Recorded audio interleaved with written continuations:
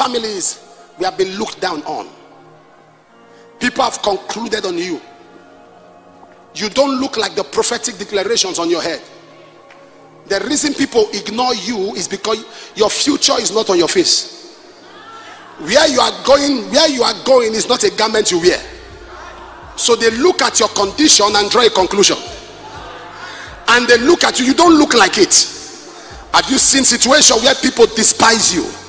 But there's a word for you that after now, those that belittle you shall belittle. Those that belittle you shall belittle. Joseph did not look like his dream. Joseph did not look like his prophecy. Sometimes you don't look like it. The Bible says in John 3, verse 5, the wind bloweth where it listed. Thou hearest the sound, but cannot tell whence it cometh, and whither it goeth. John 3, verse 8. So is every man, John 3 8. So is every man that is born of the Spirit. You, you are like the wind, you are so unpredictable. Nobody can understand because today you look broke, but there is a future ahead of you. Today you look stranded, but there's a future ahead of you. Rejoice not over me, oh my enemy, for if I fall, I will arise. When I sit in darkness, the Lord shall be my light. There are so many of you under the sound of my voice. Your friends have despised you. The one that is mighty to save, he always save the unexpected. Look at a man like Joseph in the theology of numerology. Joseph was number 11. 11 is not a good number theologically. One is beginning, two is witness, three is the number of God, four is the number of balance, five is the number of grace, six is the number of man, seven is the number of perfection, eight is the number of a new beginning, nine is the number of fruitfulness, ten is the number of blessing, eleven is the number of confusion. So David was number, Joseph was number confusion. But God, the God that we know, He chooses the foolish things of this world to confound the wise out of the mouth of babes and suckling. Thou hast ordained praise that thou mightest steal the avenger. Listen to me, child of God. It is so good that now they despise you. It is so wonderful that now they talk down on you. It is so wonderful that now they don't believe in you. Now they don't support you. So that when you rise, no one can take credit. So that when you rise, they can't say they are part of your lifting. So that when you rise, nobody can take the glory. Hear me, child of God. God has a plan for your life. Don't let the devil discourage you. Don't let the hatred of men discourage you. He said, The reproach of them that reproach thee fell on me. There is somebody under the sound of my voice. You are rising from the corner. I say, You are rising from the corner. For the stone that the builders rejected has become the head of the corner. You are rising from the corner. I say, You are rising from the corner. Somebody shout, I am unpredictable. I'm unpredictable. I know. Ow. Hmm. I am unpredictable. I'm unpredictable. Mm. There are so many of us right now. Have you seen when people have not seen you for a while, they look at you, and some of them, the first thing they ask you, Where are you now? Eh, They know you are nowhere. They know you are nowhere. They want you to say it with your mouth. Uh, where, where are you now? Ah, ah, are you still? Oh, oh, they know. They are keeping tabs on you, but they want you to to say it. They've concluded on you. I like it when people look at you and they feel there's nothing good that can come out of you.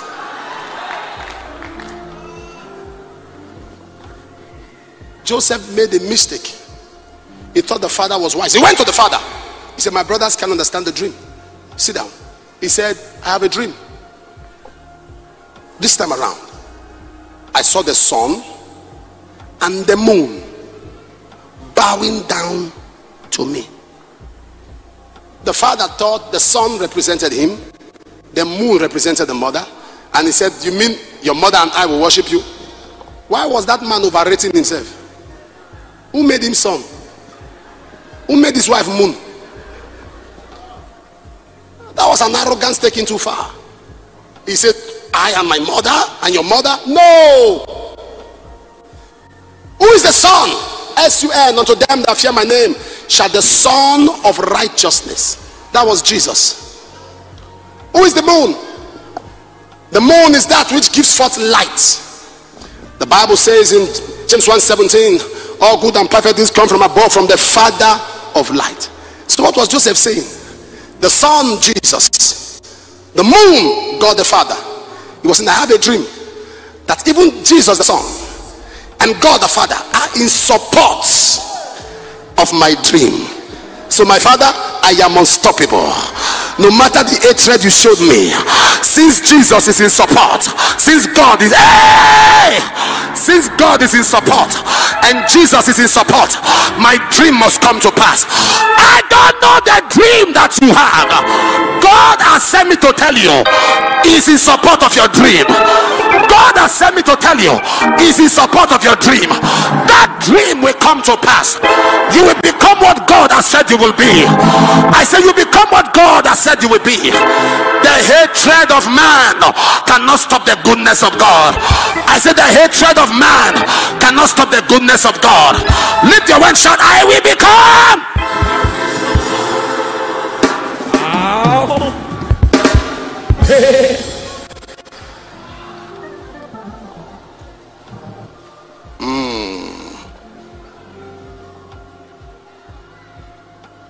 He has an agenda. Those were the spies who would have thought that Israel, that was despised, that was rejected in the land of Egypt, will suddenly become a mighty force, a mighty nation. Who would have thought that they will walk out of Egypt? The walking out of Egypt is moving from the world into Christ is being born again and they entered the Red Sea which means that once you are born again you must be baptized in water. That speaks of baptism and that also speaks of a delivery. It shows that Egypt was giving birth to Israel. When a woman is giving birth the first thing that happens is that our water breaks in red sea that was when the water of the conception of israel the water broke. And these were people walking out of captivity walking out of limitation the same people that were slaves the same people that were ignored the same people that were abandoned God had a plan. Hear me, child of God. God will allow people treat you badly so that when you are lifted, you know how to treat people better. God will allow people show you hatred so that when you are lifted, you know how to disperse love. God will allow you go through poverty so that you know what it feels to be hungry and you can help the poor. God will allow you go through rejection so that you can stand with people and identify with them. God will allow you go through cataclysm. He will allow you go to despondency. if will allow men turn their backs on you. He will allow men to be critical of you. So that when he lifts you up, sir, everyone close to me can tell you, I cannot stand you speaking against anybody. If you try to speak against somebody, I will attack you. You know why? I have been spoken against and I know how painful it can be. When you bring up a topic about anybody, I will attack you. I said, leave that person alone. You say, look at this, look at it. I said, leave it like that. Because I know what it means for you to be troubled. That you have gotten enemy without a cause. There are some people that hate you and they don't know why they hate you. They just hate you because they hate you. Why do they hate you? They don't know. You are not living in the same house. You didn't marry the same wife. You didn't marry the same husband. You are not doing the same business. You are not buying clothes from the same place. You don't go to the same market. Yet they cannot see you and be happy for you. They are angry.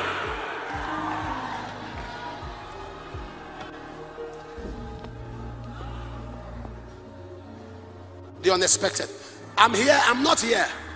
I'm not here for those who can figure, who already have their plans, who already have it figured out, who already have how they've already mapped out strategies for their rising.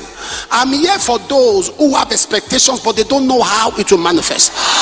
I'm here for those who have dreams and aspiration, but they don't know how it will come to pass. I'm here for those who have a goal, who have an expectation, who have what they are pursuing, but they don't know, they don't know how it's going to come to pass. I want you to know that you may not see the wind, you may not see the rain, yet the valley shall be filled of water. You may not see the wind, you may not see the rain, yet this valley shall be full of water. Lift up your hands and shout hallelujah. Hallelujah. Ow.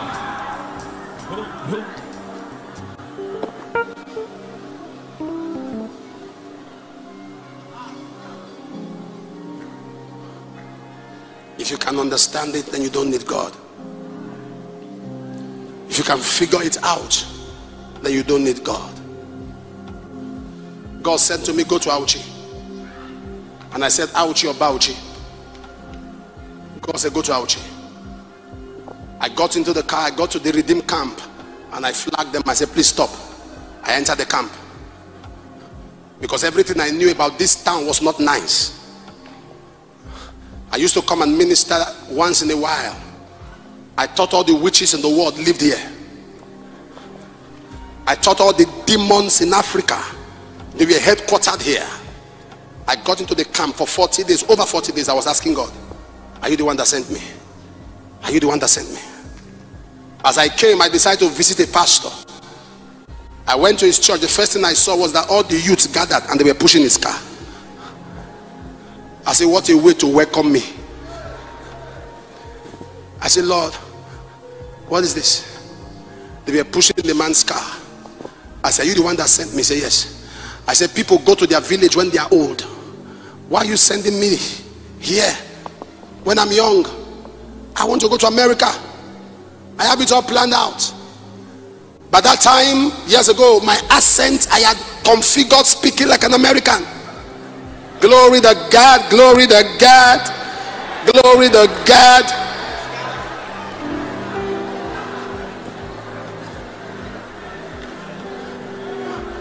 When I ministered then in Lagos, I, I mean, I was living in Lagos on the mainland. I was having seminars and services. Glory be to God, hallelujah to God, amen, praise God. What a God we serve, what a God we serve. Ooh, my God, my God, my God. I was rehearsing. I was low budget Americana. I was practicing already. I'm not joking. Talking to my friends, and the kind of friends I had too, all of them were wannabes, wannabes. All of us wanna be confused, brother. Hey, bro, what's up? Amen. glory to God. Where you been, man? Glory to God, glory to God. Hey, where, where's the other guy? Where, where's he at, man? Oh, glory to God, glory, glory. I'm just excited. God done something in my life. God's done something in my glory. Be to God. Amen. Woo.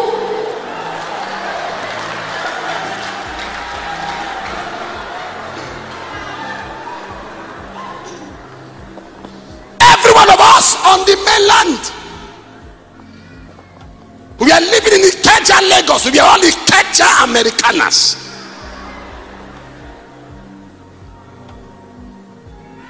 All of us, all of us. That's how we're talking. Because we all had the vision for America. We are Nigeria. We had already shared states. I told them uh, New York or Chicago. One of my friends, he has never been there, just likes the word Alabama. He said, I just like Alabama. I've never been there, but I just like the sound Alabama. I said, what if you get there and it's not nice? Say, so long the name doesn't change. Alabama. and now we are praying. And the voice of the Lord comes. Go to Auchi.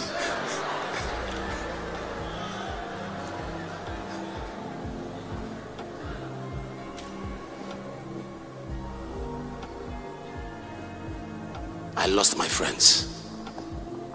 All of them left me. I told them this is what God has told me. You going where? You want to go where? Man, this guy's gone nuts. You got some brain screwed off, some screws off your, off your brain. You want to go home? We're going back to the States.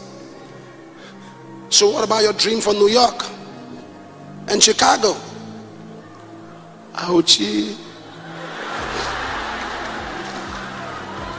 Man, this ain't God. This ain't God at all. This ain't God. This ain't God. These are some powers from your village, man. And I had God.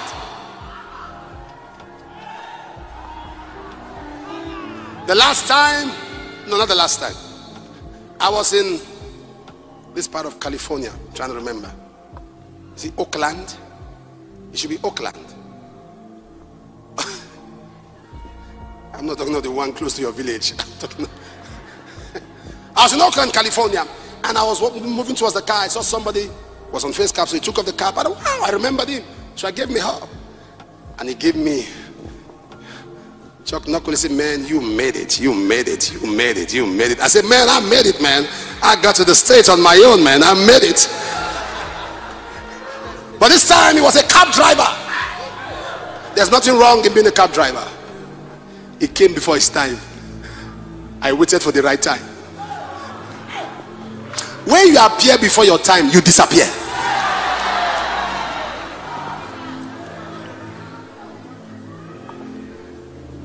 And that's what's happening now. Every young pastor, mostly in this ministry, every one of them, as soon as they finish the Bible school and they desire to work with this ministry, they get a passport. They want to go abroad. They want to travel abroad. I told the young man, I said, it's not just going abroad, things are bad there. He said, Let me go. Papa, just let me and let me experience it. I said, It's not that easy, Papa, it doesn't matter. Not the person they stay there. Let's go to the abroad. He got back after eight months. He started talking to me strategically. He said, Papa, these things are hard though. This abroad is overrated. See, I'm seeing my pastors in Nigeria. I see what they are doing. I can't even post my service online. He said, I don't know if there's any if you can work any vacancy for me to come back. I said, No, no, no. In life, we move forward. Just move forward. In life, we don't go backward. Everyone who knows me, I, I, if you know me, if you have seen me drive, I don't, I don't reverse. No, I don't reverse. I don't know how to reverse. It's, a, it's just a law. Even in driving, I don't reverse. I turn around. I don't reverse. I don't go back like this. No. Ah, we miss this. Say, okay, we turn around. In our life, there's no reverse gear. Am I talking to somebody here? Number two. Mighty to say. The Bible says everywhere Joseph entered, he made an impact. He that is mighty to save releases influence on those he saves. Releases influence. Everywhere Joseph entered, he left a mark. Joseph had the gift of dreams. When he entered the prison, he transferred that gift on the prisoners. The prisoners too began to dream. When the prisoners, one of them entered Pharaoh's palace, he transferred the gift of Pharaoh. Pharaoh too began to dream. there's an unction called the unction of influence. When that unction comes on you, you affect and infect everywhere you enter. In that office, you leave a mark. In that nation you leave a mark.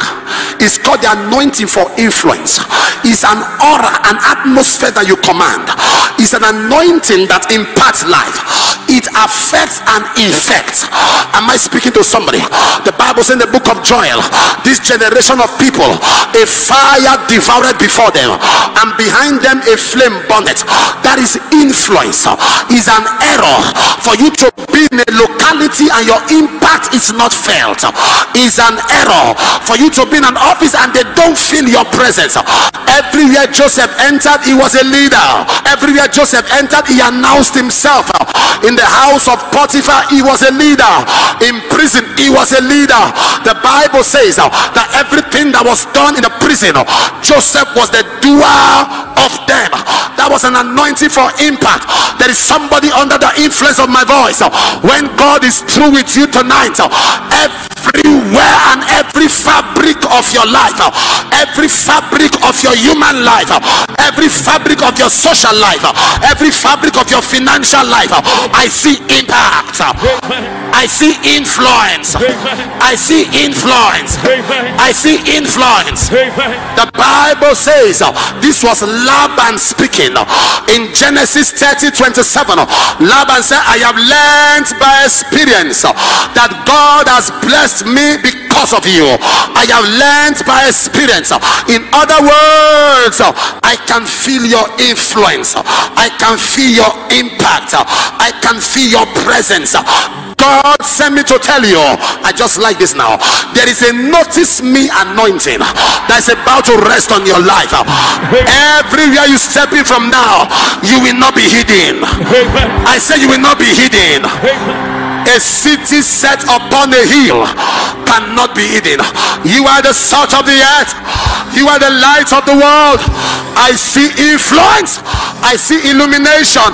I see influence. I see illumination. I see influence.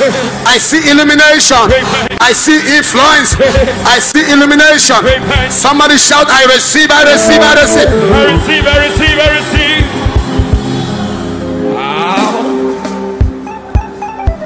Influence commands increase. Influence commands increase. Genesis 26, verse 13. The man waxed great, he increased, he went forward until he became very great. The man increased. The Bible says in Zechariah chapter 10, verse 8, he said, They shall increase as they have increased. In Psalm 115 and verse 14, he said, God shall increase you more and more. In Exodus 1 verse 7, the children of Israel increased and they were fruitful and they multiplied in the land. In Psalm 71 verse 21, thou shalt increase my greatness and comfort me on every side in job chapter 8 and the 7 though thy beginning was small thy latter end should greatly increase. In first corinthians 3 verse 6 paul planted apollos watered but god giveth the increase. There's an anointing for increase that is about to be released upon somebody's life. There's an anointing for expansion. There's an anointing for extension that's about to be released upon the life of an individual. God wants to take you from being an individual into becoming an institution. God wants to take you from being a principality into a municipality.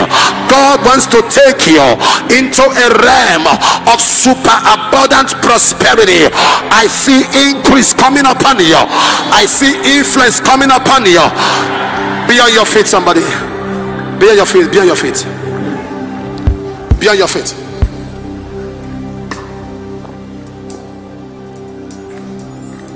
somebody shout influence Influence. shout increase Increase. shout influence Influence. Shout again, increase. Increase. Shout influence. Influence. Shout increase. Increase.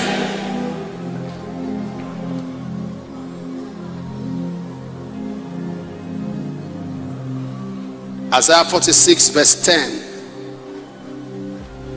The Bible tells us God's proactiveness. Isaiah 46, verse 10. God sees the end from the beginning. Before God, can I surprise you? Before God, your end starts before your beginning. God sees your end first before he sees your beginning. Adam was created as an adult. God was trying to let you know what he meant by end from beginning. Adam was not created as a baby. That is a clear explanation of end from beginning. That's how God sees things. Adam was created. The day Adam was created was the day he got married.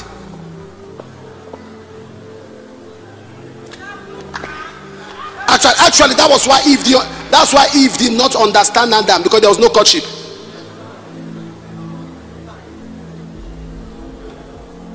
That's what Adam said to God. He says, The wife you gave me. You. I didn't say I wanted one. You gave me. God said, Oh, really? Now you blame me. From